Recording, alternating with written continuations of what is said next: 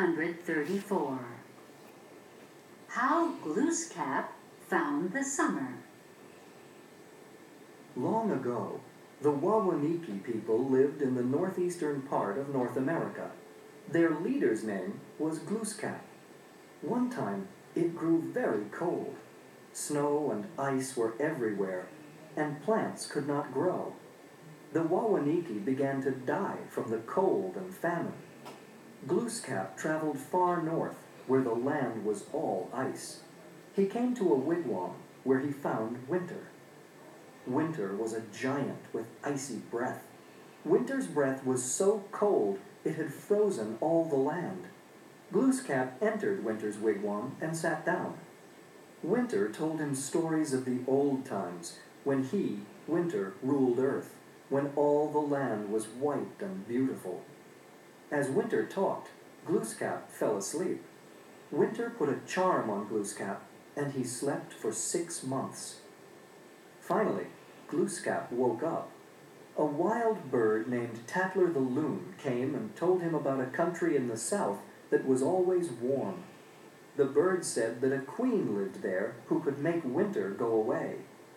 I must save my people, Glooskap thought. So he decided to go south and find the queen.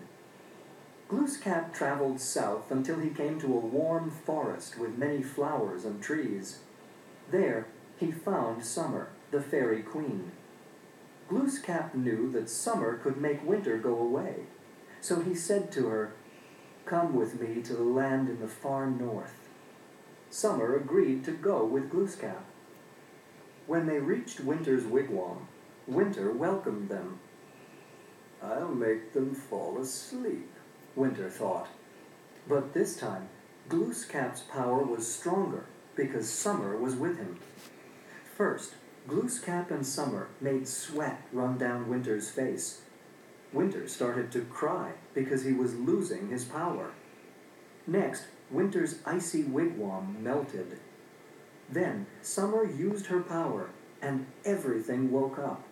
The grass and flowers grew, leaves appeared on trees, and the snow ran down the rivers. My power is gone, Winter cried. Then Summer said, I have proved that I am stronger than you. So now I will give you all the country to the far north. Six months of every year you may come back to Glooskap's country. During the other six months, I will come back to his land. I accept your offer, Winter whispered sadly. So every autumn, Winter returns to Glooskap's country and brings cold and snow. When he comes, Summer runs home to her land in the south. But at the end of six months, Summer always returns to drive Winter away and bring back the grass, leaves, and flowers. Okay, so this is a myth explaining how the seasons were um, came to be. You also had something in your vocabulary recently about Persephone and Demeter, and I believe you're going to be reading that story in part two. So look at this illustration. I believe that this would be winter then in the middle. Here's winter sweating or crying and the summer fairy, and this must be a Glooskap. Okay, so myths are fictional stories that attempt to explain something about nature. How Glooskap found the summer is a Native American myth of the Algonquin people. Persephone, aha, here it is. Persephone and the pomegranate seeds is an ancient Greek myth. Both myths explain why Earth has seasons. And literary element a hero, or if it's a girl, heroine.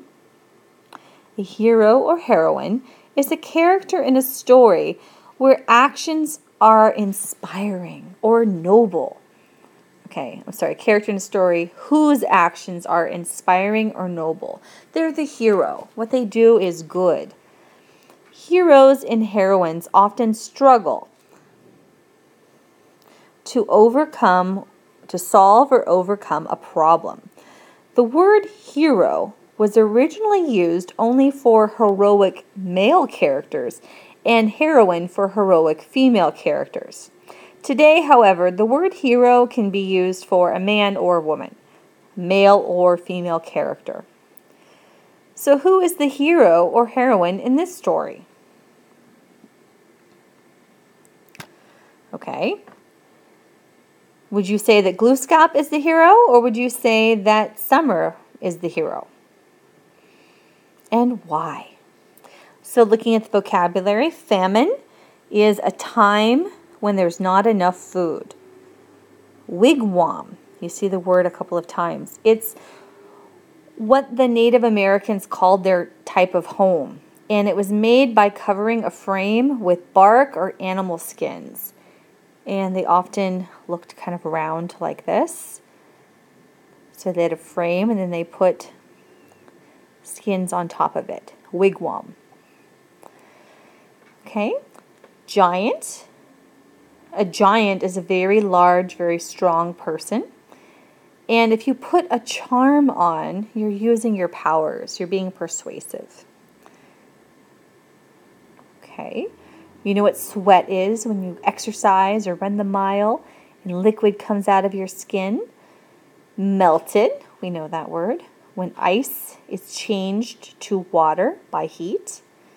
Okay, so what problem do the Wamaniki people have? What is their problem? What is their problem? It says that they began to right? What happens here? They began to die because of the cold and because they don't have food to eat. They couldn't grow food in the cold. So that's their problem. And who is going to solve the problem? Who's going to help them solve the problem? Glooskap, right? How does Summer help Glooskap? What does she do?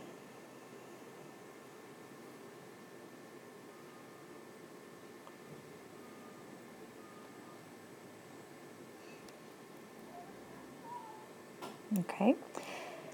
In this story, Winter puts a charm on Glooskap. Do you know of another story like this? Think about that. Have you heard of other stories where someone puts a charm on? And what does that mean again? They use their powers. They use their powers. Okay. Page 236. Persephone and the pomegranate seeds. Long ago, Demeter, the goddess of agriculture, had a beautiful daughter named Persephone. Demeter helped trees and plants grow on earth. Pluto, the god of the underworld, lived under earth, where it was always dark and cold. Pluto wanted a wife, but no one wanted to leave the sunshine to live in Pluto's dark world underground. One day, Pluto saw Persephone while she was picking flowers. He wanted to marry her, but he knew that Demeter would say no. So he rode a chariot and took Persephone to the underworld. As they were crossing a river, Persephone dropped her flowers into the water. The river took the flowers to Demeter. Demeter asked Zeus, the king of the gods, to help her get Persephone back. Zeus answered, I'll send my messenger, Hermes, to the underworld. But if Persephone eats anything there, she cannot return to earth. Pluto knew that if Persephone ate anything, she must stay with him. So he gave her twelve pomegranate seeds. She was very hungry and started to eat. While she was eating, Hermes arrived. Persephone, did you eat the twelve seeds? he inquired. I ate only six, she replied. Hermes didn't know what to do, so he returned to Zeus. Zeus said, Persephone ate six seeds, so she must stay in the underworld six months a year. She can spend the other six months on earth with Demeter. And that is why there are six cold months of autumn and winter each year, and six warm months of spring and summer. Okay. so I wonder if you noticed that in the other version of this story that we had in vocabulary, it said Hades, not Pluto. Did you notice that? So the Greeks and the Romans shared the same gods, these ancient mythological gods that they shared. And the Roman name for Hades was Pluto, and the Greek name for Hades is Hades. So sometimes the names are a little bit different, although they are talking about the same mythological god of ancient Rome and ancient Greece. Okay, so let's look at the literary element here. Conflict. Say conflict. Conflict is the struggle, it's the problem, the struggle between opposing or opposite forces. So you think of conflict. Okay. Two opposite forces opposing each other. That is the conflict. Conflict is important in stories because conflict causes the action. Without conflict, stories would be very boring because nothing would happen. Conflict can be between characters or between groups of people. Conflict can also be between a character and a force of nature or it can take place in the character's mind. So if the character's thinking about something and not sure what to do, and there's a problem in your own mind, that's conflict. So, what is the conflict in this story? It's between a character and another character, right? Okay. Um, conflict. I want to quickly tell you a little bit more about conflict. So the three types of conflict listed here are explained this way in literature classes. So you need to know it. We say man man versus man, that's conflict between two people. Man versus nature. Man versus nature. This is there's an earthquake, there's a hurricane, there's a natural disaster, and we have to survive. Or we say man versus himself. Okay, those are the three types of conflict that are explained here. So the, the type of conflict we have is man versus man, even though one of the man, two of the men are actually gods. Okay.